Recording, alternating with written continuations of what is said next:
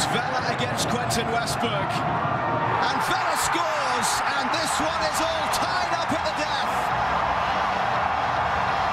A valiant effort from TFC, coming so close to taking three points home. But the foul by Mavinga, rightly punished, and Vela tucks it away. Yeah, nerves of steel from Carlos Vela.